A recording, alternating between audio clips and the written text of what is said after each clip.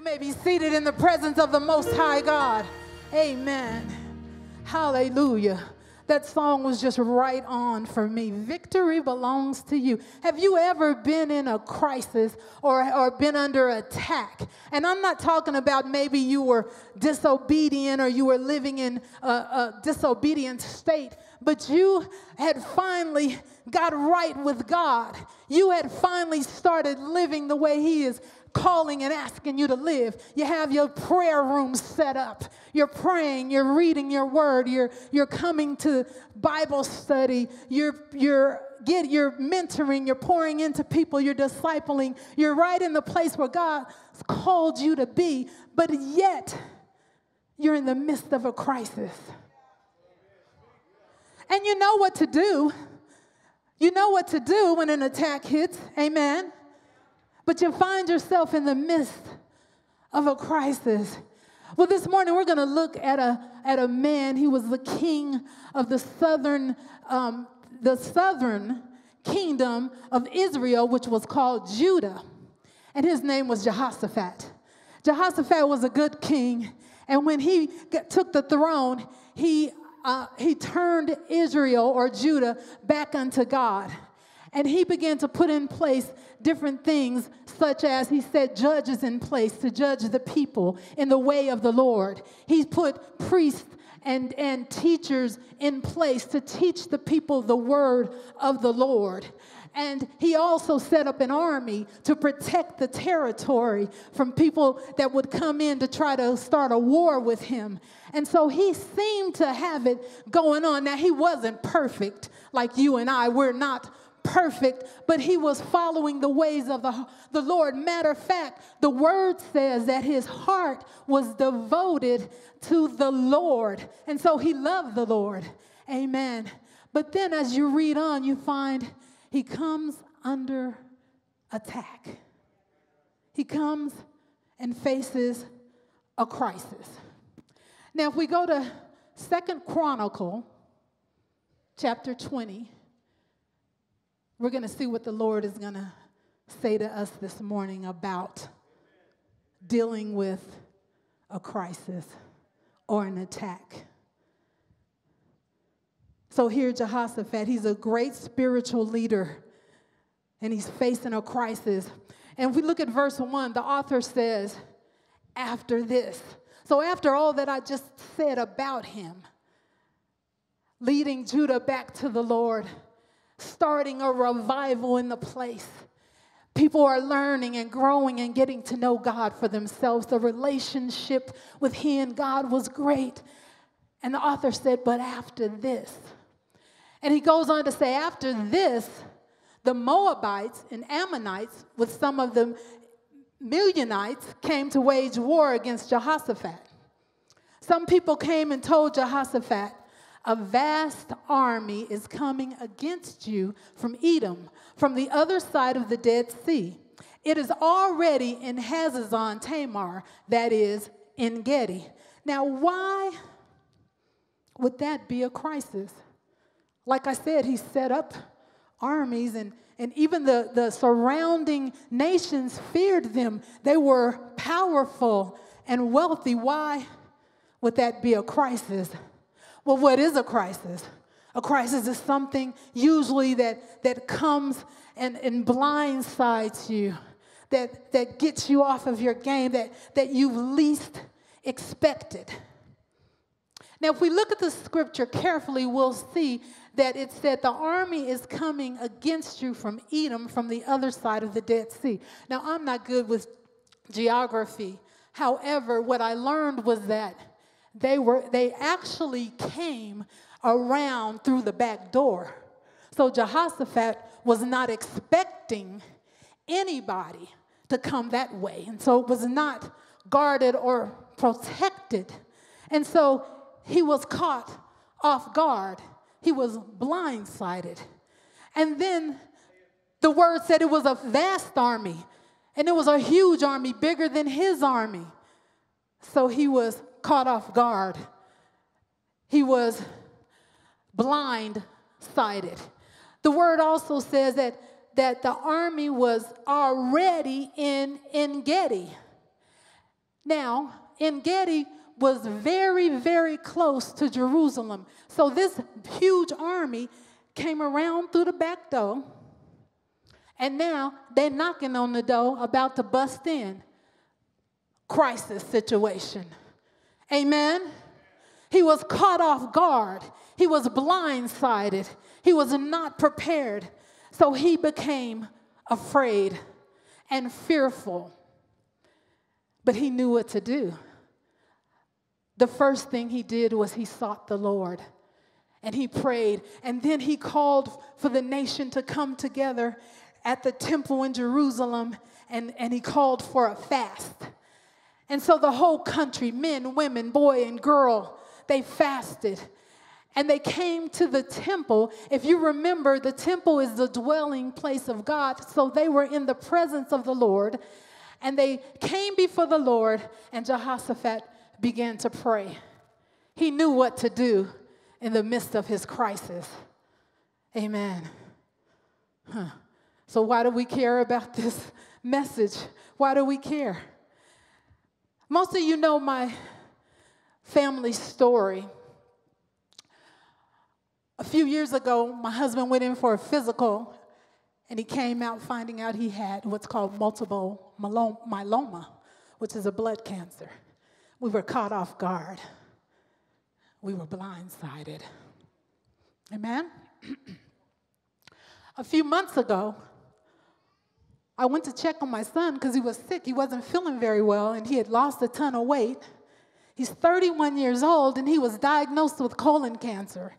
And if anybody knows anything about colon cancer, you normally don't even get checked until you're 50. So we were blindsided, we were caught off guard. And then about a month ago, I was home, it was on a Saturday. My mom hadn't been feeling too good a couple of days, but not unto death in my mind. And I get this frantic call from my dad to get there quick and to bring that, the ambulance. And I lived seven minutes away, and when I got to the house, I could still, to this day, see the paramedic telling me I can't go in because she didn't make it. I was caught off guard, blindsided. You see, as believers, we find ourselves in crisis regardless of our spiritual maturity.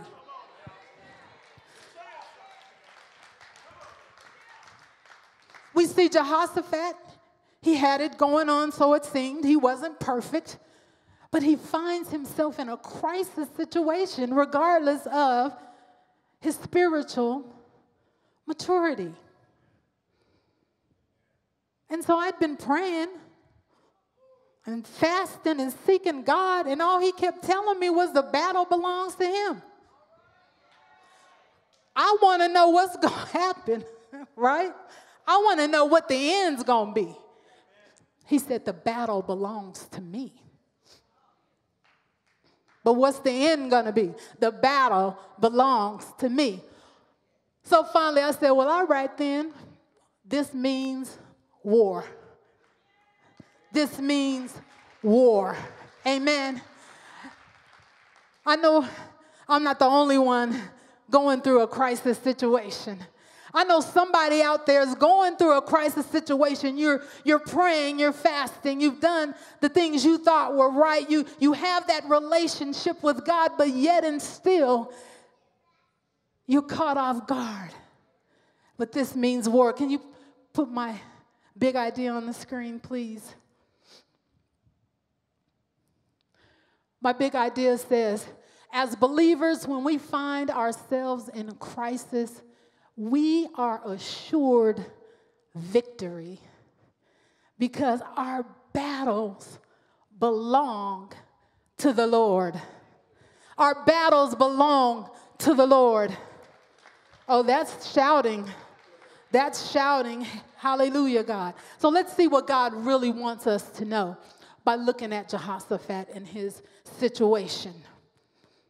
So the army, this, this huge big, gigantic army is at the back door knocking on it. And Jehoshaphat doesn't know. He knows that he cannot defeat this army on his own, so he seeks God. And as they pray and wait for God to respond, because they're not going to leave his presence until he answers them,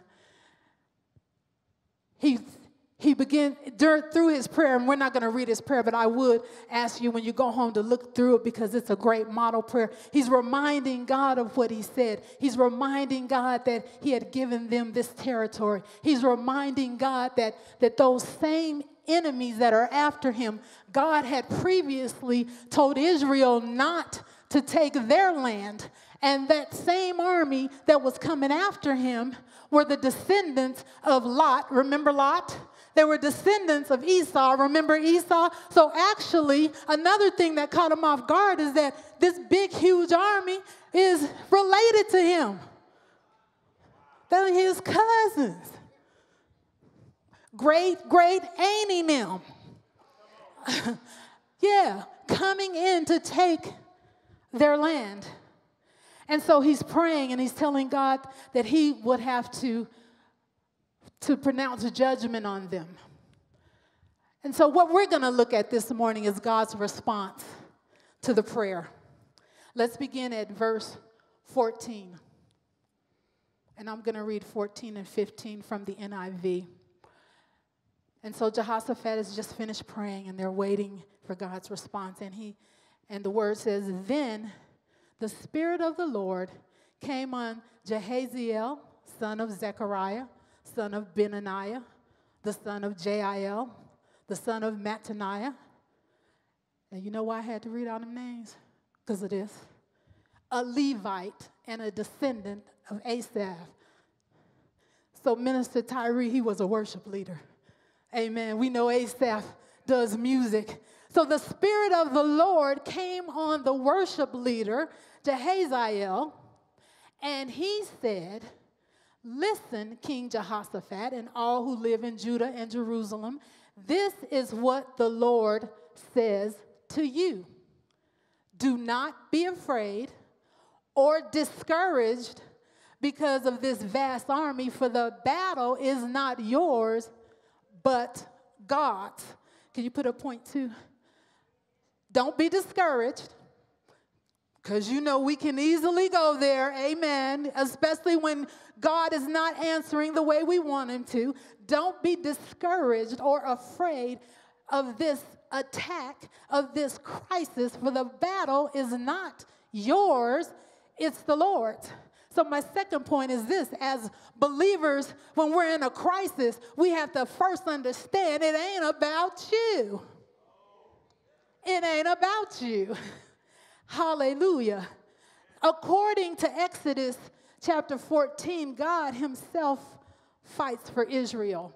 Now let's look at some history so you can understand why I'm saying what I'm saying. Here they are in the city of Jerusalem. Jerusalem was a holy city.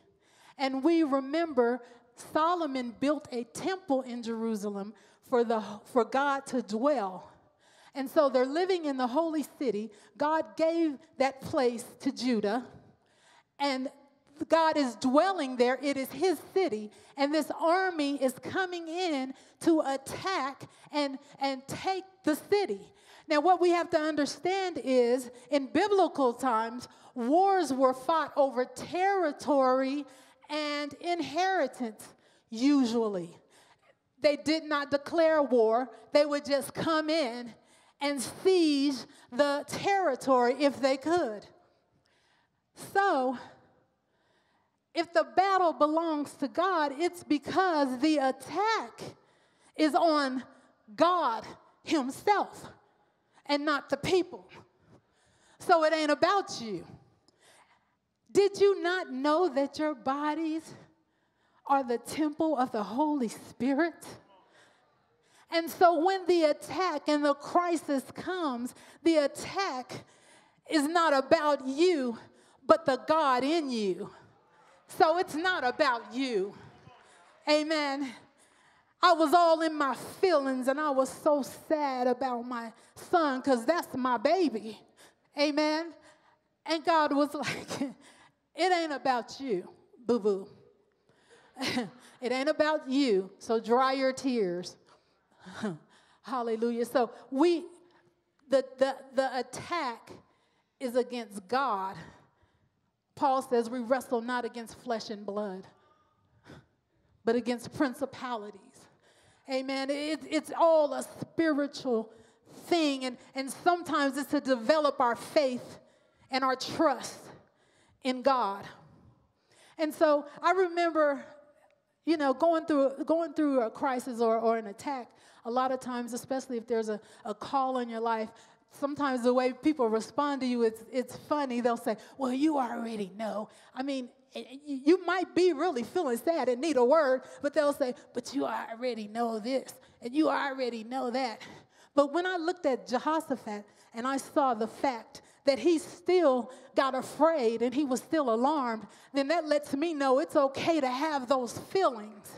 It's okay to be sad. Yeah, it's okay to be fearful and alarmed. But what we do know is that we know what to do, and that's to turn it over to the Lord. And so I've been, I was praying and praying to God and trying to get answers and trying to see what I did, what I could have done. And I kept telling God, I love you. Love God. You don't love God? No, I'm just kidding. I just kept telling God that I love Him, but I'm a mother, so I'm hurt. I'm sad. I want to know what's going on. When, when this situation happened with my son, and he just kept saying, The battle. And I'm like, Okay, but I need more. I need more. And here's what he said Trust me.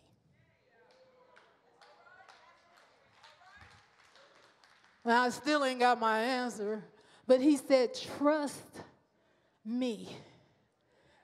Trust me. That brings me to my second, my next point. Verse 16 and 17. and this is still the worship leader prophesying. He said, Tomorrow, march down against them. Tomorrow, march down against them. They will be climbing up by the pass of Ziz, and you will find them at the end of the gorge in the desert of Jeruel. You will not have to fight this battle. He's saying it again. Take up your positions, stand firm, and see the deliverance of the Lord. And the Lord will give you, Judah and Jerusalem, the deliverance. I read that wrong. Take up your position, stand firm, and see the deliverance the Lord will give you, Judah and Jerusalem. Do not be afraid. He's saying that again. Do not be discouraged. Go out to face them tomorrow, and the Lord will be with you. So, as believers, when we're in the midst of a crisis, we have to learn to trust God with our lives, trust Him with everything we have. So I emphasize the word tomorrow because I kept saying, well, why tomorrow? If I don't have to fight, why don't you just do it today? You know, why we gotta wait? They at the back door knocking, knocking. Why I gotta wait? Tomorrow. What's tomorrow? Tomorrow is our future. Tomorrow hasn't came yet, so it's the future. Tomorrow march down that He wants us to trust Him with our lives. And we and He wants us to trust Him with His plans for our lives in His time. So tomorrow, tomorrow could be our destiny. Tomorrow, march down there. And when you get there, here's what I need you to do. So when we're in the midst of a crisis, we have to learn to trust God with our lives. Do you remember when the Israelites were in captivity? I believe by Babylon, I'm not 100%. And Jeremiah was the prophet, and he had prophesied to them that they would be captive for a number of years. And then later, God told him to, to let them know that he was going to deliver them. And while they were still in captivity today, God said to them, I know the plans that I have for you. Plans to prosper you and not to harm you, plans to give you hope and a future while they were still in captivity. So we have to trust our lives to God because tomorrow He's going to do something and He needs us to be ready. And we have to trust that on tomorrow He will be there. So He says something else. So when we go out tomorrow, got to do three things take up your position, stand firm, and see my deliverance. Take up your position, stand firm, and see my deliverance. Somebody say that with me. Take up your position, stand firm, and see the deliverance. Yeah. Take up your position, stand firm, and see now, that sounds like a passive thing to do. I thought he was going to say, when you get there tomorrow, give me a sword, cut them all up, whoop them all up. He said, no, take up your position, stand firm, and see. Now let's look at those three things because I believe that's going to I don't know about you, but it has helped me. I don't know who's here and needs to hear this, but it helped me. And so take up your positions. All three of these things are verbs. That means there's an action word. I don't know what kind of action you need to, to take your position and to stand and to see, but it, they're verbs, and they were given in the imperative mood, which means a command. So take up your positions. It means to stand. It means to be, I'm to have to read this because it's deep. Be in a standing position, implying one stays in the same position for an extended period of time. It means to stand firm, be in a state of firm inner strength as an extension of being in a standing position and get this, not moving or running away. So when you're in a crisis, you can't move or run away. Yeah, some people that get hurt, they don't want to go to church no more. Do not move or run away. Take one stand. Listen, take a defensive fighting position. So I did get to get my stance. I just couldn't do nothing with it. Get in the defensive fighting stance, and you know the defense waits. As an extension of being in a standing, staying position. Stand ready for service to authority. Huh. As a function of worship it implies subservience and submission. Oh, come on now.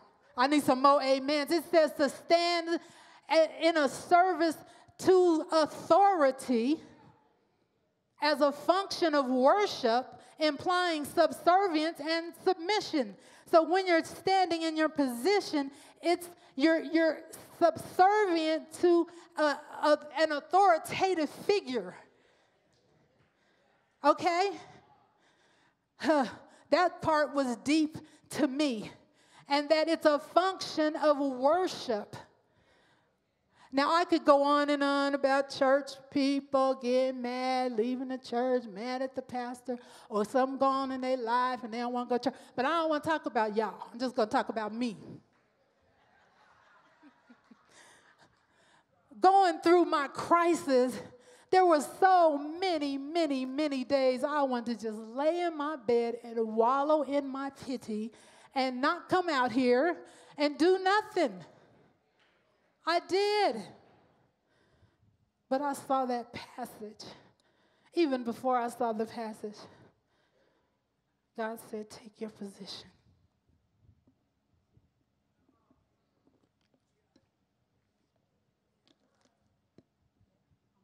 I'm a worship leader. Take my position. In the midst of my hurt and my pain, take your position. And I have to, to wallow here because it was just so deep. When I did the grammar study on this, the grammar analysis, uh, the MIT class I appreciate this. It said it was given in the middle voice. Now, what in the world does that mean? It means as the subject both acts and is acted upon. So if I am to take my position, I'm the subject, so I have to act and take my position. But it says, and then it's acted upon me. So as I become subservient and submissive and I'm worshiping, I'm doing it out of obedience but the middle voice says, then it's done to me. So after a while, I'm not just doing the act, I'm really becoming submissive and subservient and I'm worshiping because, see, while God is handling the, the enemy over here, He's also working on me in here.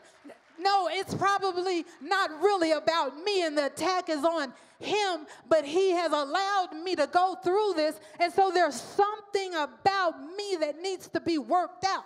So as I take my position, and as he's over there handling the enemy, I'm becoming subservient, whatever it is that God is calling and, and trying to get me to, to be. Hallelujah to lead me to my destiny because tomorrow, when I march in and take my position, I also need to stand firm, which that word still is pretty much the same. It means to stand up. And it means to stand motionless. That means I can't be trying to help God out. I just need to stand, like he said, motionless. That takes a lot of energy because I'm a doer. I be wanting to help help God out. I want to do some stuff. I got to move around. So take up your position, stand firm, and then see the deliverance. Now, this is a Hebrew verb for to see, and it's often used in the literal sense of seeing with your eyes, watching God work. It's also used to, to, um, to signify a divine revelation where people are said to have seen God or seen God work. Have you ever just seen God work right before your very eyes? And so, tomorrow, when we go down and march down to face the enemy, we need to take our position, stand firm, don't move, and just watch God work. And while he's working, like I said over there, he's also working over here, in here. And so we must trust God with our life, with our life, with our future, with our destiny, with the call, with the plan that he has. And so he told Jehoshaphat to wait until tomorrow and and march down and watch the deliverance. And so that brings me to my final point.